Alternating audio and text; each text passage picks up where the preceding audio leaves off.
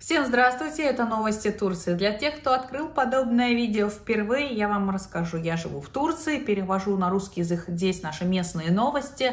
Все, что может быть интересно иностранцам и туристам, посмотреть, что на самом деле здесь думают, чувствуют и что интересует турок. Это мой личный блог без претензий на профессиональную журналистику. А, в инфобоксе под видео есть ссылка на телеграм-канал самых свежих новостей из Турции. Обязательно подписывайтесь, ставьте лайки, оставляйте комментарии под видео, и мы приступаем. Приступим. Шторм и смерч в Анталии в последние дни просто разносил все в округе. Был сильный ветер, торнадо был замечен на видео, и дождь топил улицы. Ужасный катаклизм, который накрыл буквально на несколько дней ту зону Турции. Очень много было, назовем так, страшных, не очень приятных видео оттуда. А, также были затоплены некие а, подземные переходы, машины. В общем, было очень много а, ущерба имуществу людей и причинен вред здоровью. Также было землетрясение в 4,8 баллов. А, происходило оно на днях а, в Мраморном море в Балык-Кисире в 21.40 вечера. И один мужчина поддался панике в Балык-Кисире, выпрыгнул со второго этажа, получил травмы, несовместимые с жизнью и, к сожалению, скончался. Очень многие люди напугались, все думали, что, возможно, это то страшное а, землетрясение, которое ждет Мраморное море, Стамбул в частности. До Стамбула отголоски тоже дошли. Люди в крайних районах прибрежных, кто возле Босфора живет, чувствовали толчки. Я тоже его чувствовала. Но они такие слабенькие дошли. То есть э, трясло хорошо, но очень короткий промежуток времени, в районе 5 секунд я ощущала. А, конечно же, сразу началась паника. И это все очень чувствуется. Все люди на готове, все напуганы, ждут. И, конечно же, вот я в этот момент смотрела, смотрела телеканал ТРТ Хабер в прямом эфире. Сразу же позвонили эксперту по э, географии, по землетрясениям, которые делают предсказания все эти научному сотруднику. Он сказал, да, это наш разлом, который мы ждем, но немножко в другой стороне, далеко от Стамбула. А, это землетрясение может произойти, но есть надежда на то, что будут выходы скопленной этой энергии в 4,5 до 5 баллов, потрясет какое-то время, но большого грандиозного землетрясения в 7 с лишним баллов может не произойти. Конечно, радует, дает какую-то надежду. Посмотрим, как оно будет. И хочется отметить, что да, последние две недели очень часто землетрясения в 4, больше 4 баллов, с 4 до 5 баллов в разных отраслях вообще страны Турции. И в Мраморном море на этом разломе, и в центре Турции, и также в Кахраман-Мараше, в Газиантепе, в той стороне. То есть Турцию периодически все еще потрясывает. Интересно, что будет дальше, какие прогнозы.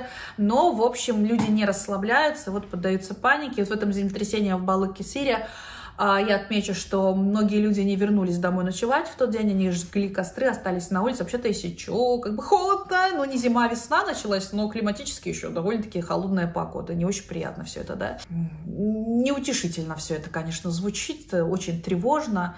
Посмотрим, какой будет у этого результат. Из таких криминальных местных новостей в Бурсе 22-летняя турчанка, она находилась на девятом месяце беременности, на минуточку, и имевшая на данный момент уже 31 привод в полицию судимости ранее за кражи, за нападение. И она знала четко, что есть закон, что беременным или имеющим маленьких грудных детей женщинам а, положена амнистия, их не должны задержать, их не должны посадить в тюрьму, проводить суд. Зная все это, эта девушка, 22-летняя, напомню, уже с таким опытом большим, она ворвалась а, в квартиру к одной семье, совершил нападение и э, вынесла из квартиры ценных каких-то вещей, драгоценностей на сумму 500 тысяч лир, на полмиллиона. У нее вообще-то до этого уже рождены двое детей, и в этом месяце она должна родить, в марте месяце, своего третьего ребенка. То она уже была просто на сносях. Вы не поверите.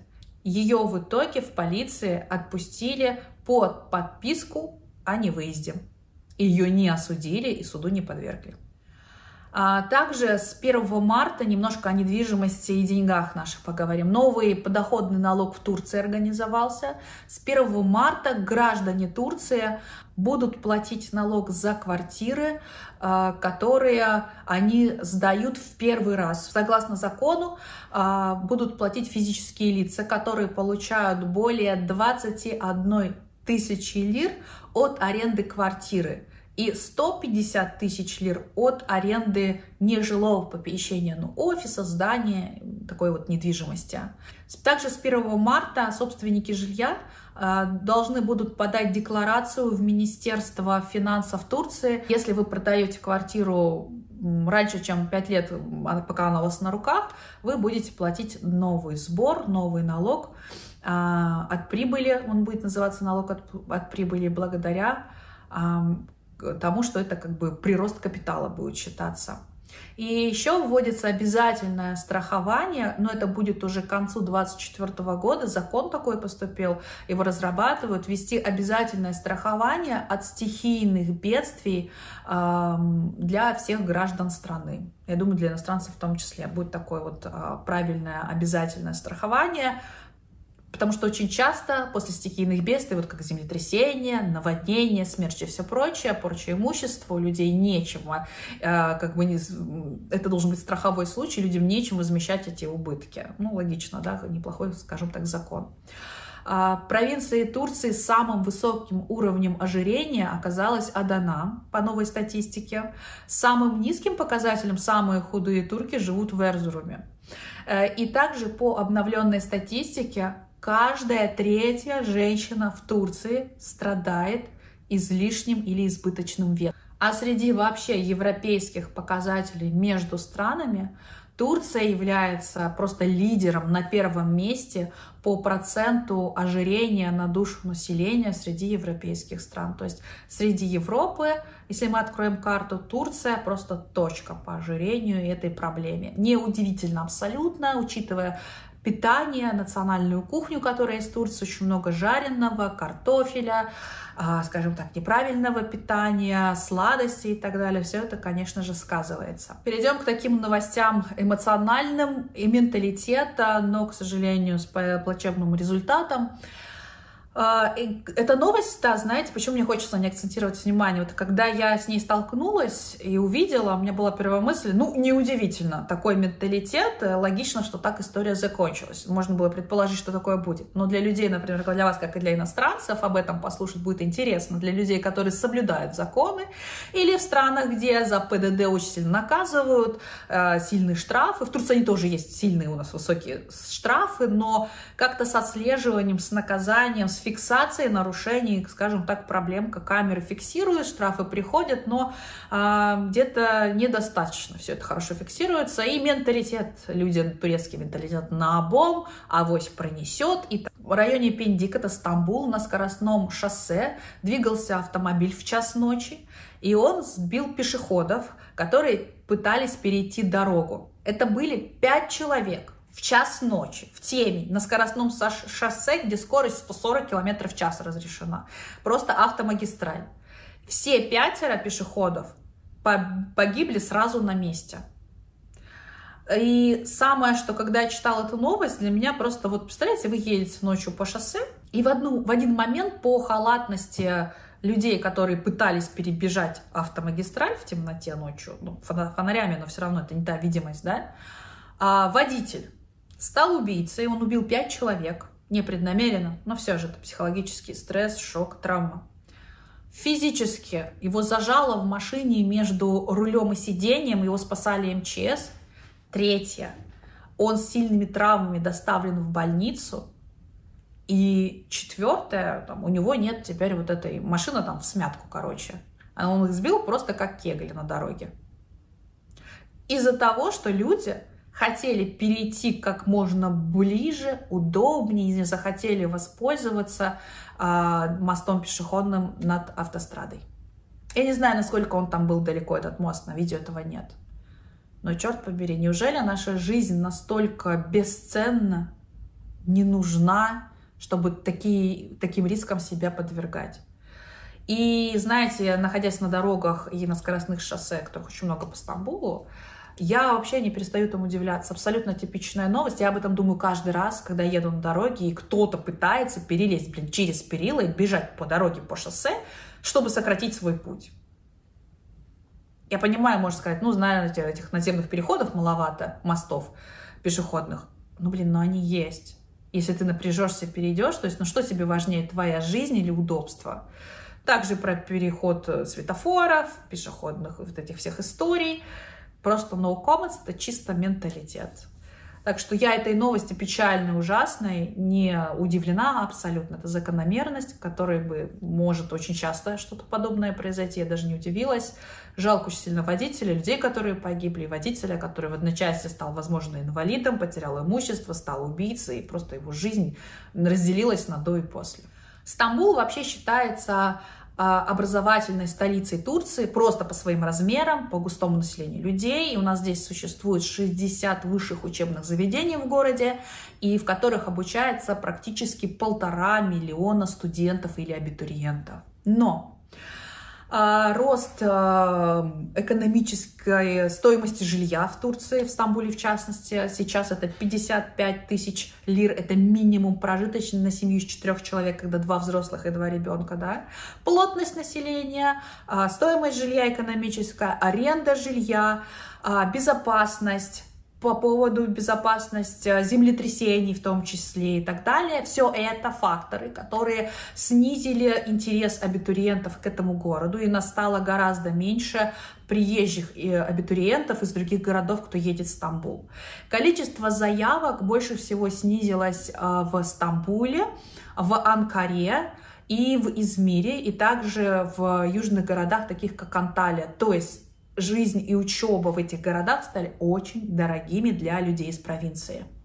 Количество квот в университетах на бюджет, оно увеличилось. Оно со 170 тысяч поднялось до 180. Это квота по экзаменам для тех, кто ЕГЭ турецкий сдает.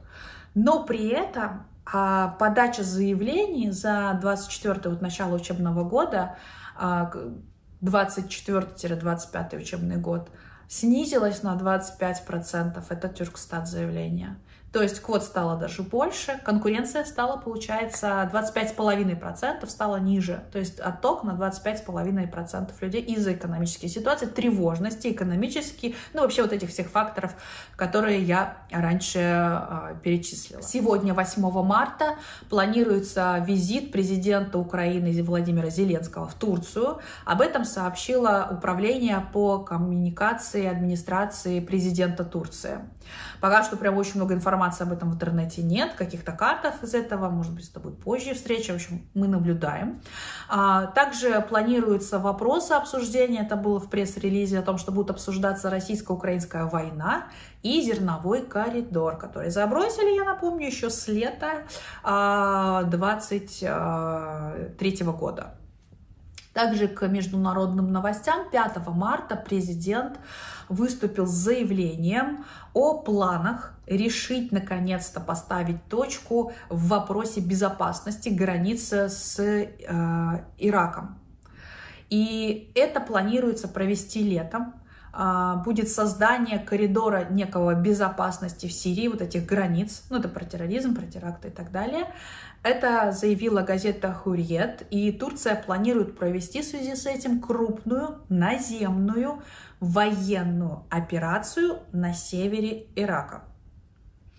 Отмечается, что по этому поводу уже были достигнуты соответствующие разрешения, договоренности на политическом уровне с властями самого Ирака и иракского Курдистана. Так что готовимся к лету, довольно-таки тревожно, интересно. Также информация может быть интересна для вас, э, именно для россиян э, с Турцией. Кто с Турцией взаимодействует? В сети появилась информация, что в обновленной версии приложения Сбербанка есть возможность перевода денег в Турцию.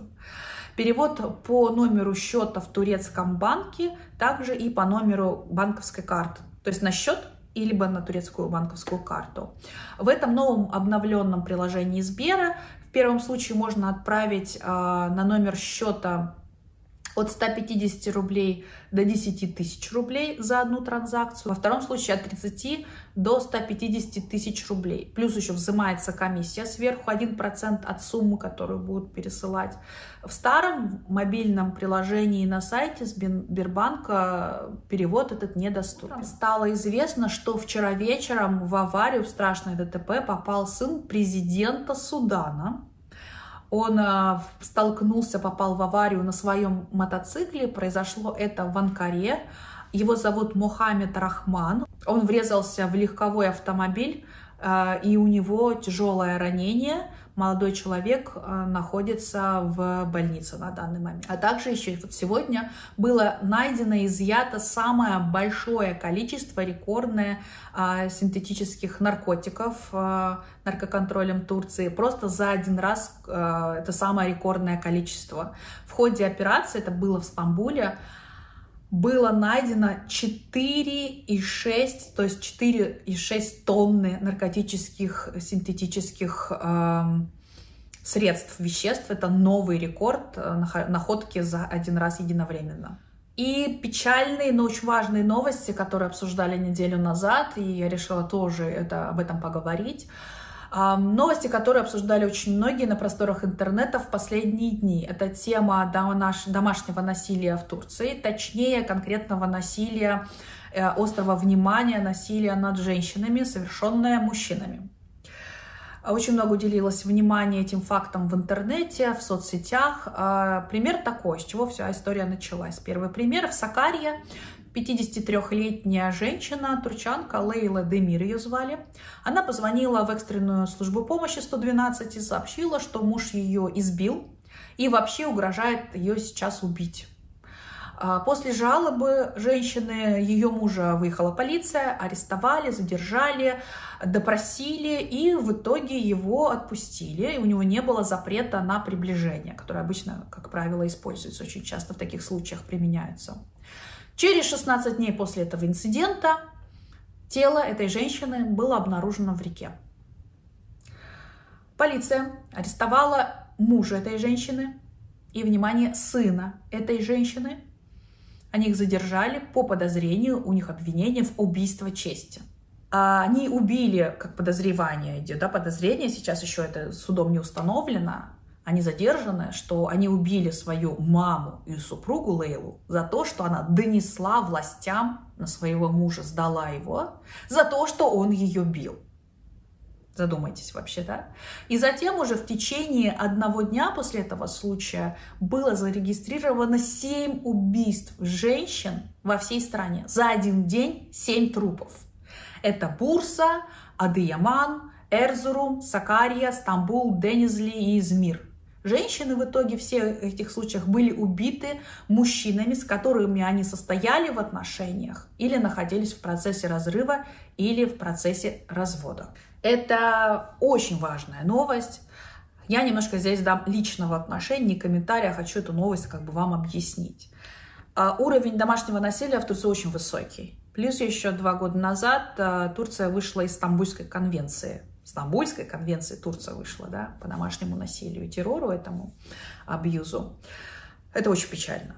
Я считаю, что эта статистика про 7 убийств в день, она просто обнародована, это официальная статистика, которая есть всегда, и она на регулярной постоянной основе. Вы спросите, ну почему это вот в этот момент и сейчас было в СМИ это обсуждались? Мне кажется, что вполне возможно это некий вброс, то есть обнародование, не вброс, а обнародование официальной информации в преддверии муниципальных выборов для поднятия эмоционального всплеска людей, эмоций, чтобы они шли и делали правильный выбор. А, в муниципалитете а, отношения, определенные настроения, либо отведение взглядов, интересов людей от каких-то других важных эмоциональных моментов, которые проходили в тот день, когда эти новости были очень подняты наверх, актуальны, и их обсуждало все турецкое общество. Вот об этом реально говорили в интернете все. Но, к сожалению, на мой взгляд, что это статистика регулярной основы, а не какая-то вспышка одного дня, к сожалению. Это очень распространено, это везде много. Это печально. Давайте теперь перейдем к более позитивным новостям. А, хочется закончить на хорошей ноте, да, и меня просят всегда позитивных новостей побольше. А, возобновились туры к Девичьей башне. А, они снова доступны к приобретению каждые полчаса, каждый день, выходные в будние дни с 9.30 утра до 5 вечера. С пирса Каракёй можно отплыть а, к Девичьей башне, к Искулиси сделать экскурсию. Билет на официальном сайте стоит 600 лир на одного человека. Как я поняла, а, никакой карты музейной там не действует. И это стоимость как и для граждан страны, так и для туристов, и вроде бы даже для детей. Насколько моя была такая информация полная. А также в аэропорту Стамбула начала работу с психологическая поддержка, помощь, служба с необычным э, персоналом. А, для людей, которые испытывают страх, э, тревогу, аэрофобию, в частности, страх полетов, а, проект называется «Собака-терапевт». В первом этапе этого проекта поучаствовали э, пять собак. Это кинологи, тренеры с собаками. Пассажиры, испытывающие страх перед полетом, тревогу и фобии, они могут снять свой стресс, погладив, пообщавшись, поиграв э, с собаками-терапевтами, которые в свою очередь в специальных жилетах отличительных э, ходят э, в аэропорту, э, гуляют, и можно к ним, э, скажем так, обратиться за этой помощью. Они работают в зоне международных вылетов в аэропорте Стамбула. Это такая пробная, скажем так, акция. Э, эти собаки, это служба поддержки помощи находится в аэропорту в течение всего дня. И все пассажиры могут воспользоваться такой услугой, конечно же, бесплатно, чтобы снять свой стресс. Я вообще считаю, это прекрасная инициатива. Давным-давно надо было что-то подобное вводить. Это просто супер. И эм, как психолог могу сказать, только 5 баллов. Прекрасное начинание. А также, так ну, сегодня 8 марта, а, есть еще прекрасная традиция в Бурсе. А, называется это мероприятие раз в год проходит «Мужчины в дом, а женщины на улицу, в кофейню». То есть эта акция проходит каждый год еще со времен Османской империи. Традиция, ну, только в Бурсе, надо считать, вообще вся Турция должна это перенять. Один день в году женщины сидят в кафе, а, на улицах, тусуются, общаются с другими подругами, женщинами, соседками, со всеми подряд, курят, пьют чай, кофе, общаются, а в это время мужчины выполняют их работу по дому. Так что прекрасная, на мой взгляд, традиция всем остальным частям Турции. Было бы неплохо ее перенять тоже в том числе. Я думаю, многим бы это понравилось. Ну и на такой позитивной ноте заканчиваем. Я хочу поздравить всех с 8 марта. 8 марта в Турции тоже отмечается. Желаю всем женщинам счастья, любви, понимания, поддержки. Просто светлого неба вам над головой. Пусть у вас все получается. Желаю вам удачи. Это были новости Турции. В инфобоксе под видео есть ссылка на телеграм-канал самых свежих новостей о Турции. Подписывайтесь обязательно, пишите ваши комментарии под этим видео, ставьте лайки и распространяйте это видео в соцсетях. Это поможет привлечь новых интересных подписчиков ко мне на канал. Спасибо вам большое за это. Скоро увидимся. Всем пока.